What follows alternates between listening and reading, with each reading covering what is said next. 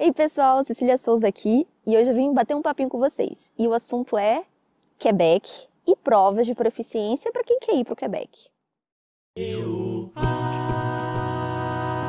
Bom, faz já um certo tempo que o Quebec abriu as portas, né? E isso é o sonho de muita gente, muito brasileiro hoje em dia, é ir para o Quebec. Eu lembro quando teve o boom na época, todo mundo queria ir, então teve muito mais demanda de aluno do que professores capacitados na época.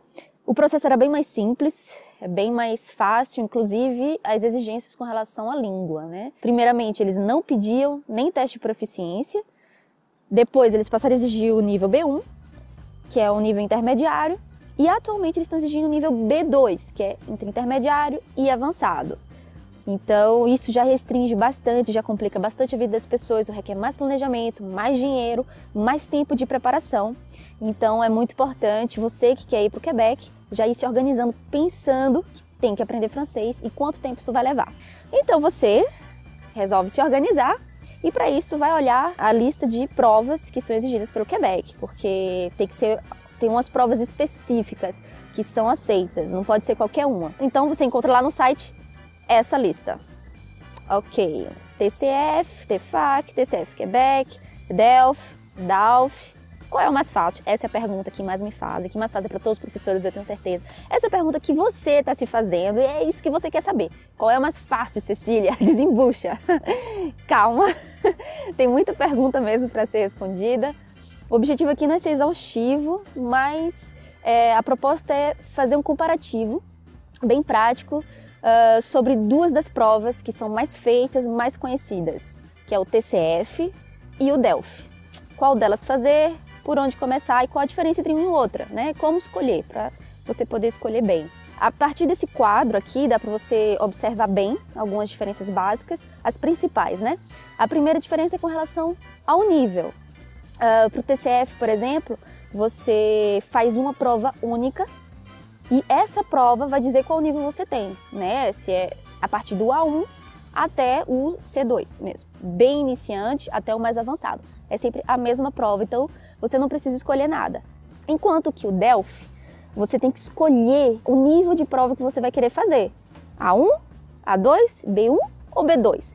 Você tem que escolher. Então, por exemplo, se você passar uma prova de B2, mesmo que você tenha um nível B1, se você não tiver o resultado esperado para um B2, você não vai ter o diploma do B2 e também não vai ter diploma do B1, tá certo? Mesmo que você tenha um nível. Mas você fez uma prova do B2 e você ou passa ou não passa. Isso faz com que muita gente prefira o TCF, né? Porque você sai com alguma coisa em mãos.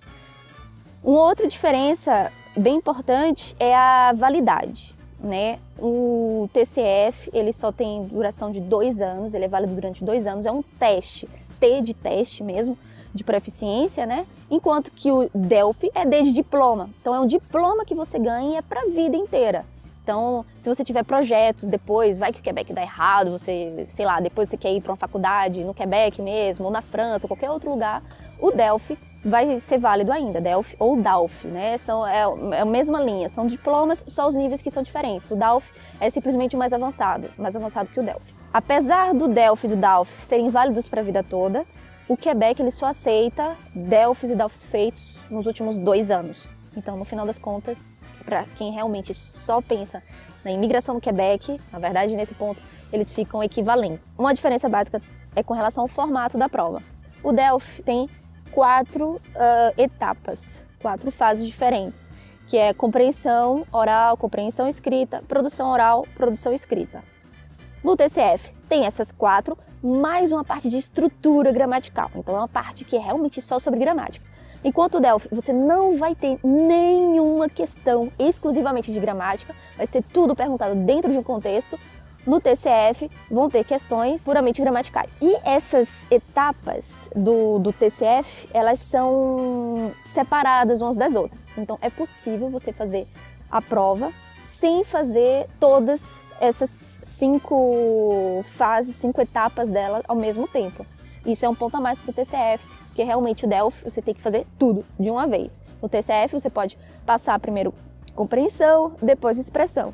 Isso realmente torna a prova muito mais prática, né? muito mais abordável. Se você estiver vendo esse vídeo antes do dia 6 de maio de 2016, se liga aí, porque nesse dia às 20 horas, o Ed do It's Canada Time vai estar fazendo uma entrevista comigo e a ideia é que ele vai me perguntar tudo que não pode ser dito aqui e muito mais, tudo que você quer saber. Deixe suas perguntas aqui no comentário. Vem assistir ao vivo também, você vai ter a chance de fazer suas perguntas lá no dia mesmo, ao vivo. Eu vou responder a todas as suas perguntas. A gente vai poder falar melhor sobre essas provas, sobre como se preparar, onde estudar, quanto tempo estudar, quais são os recursos que você pode ter, porque tem bastante aí, hein?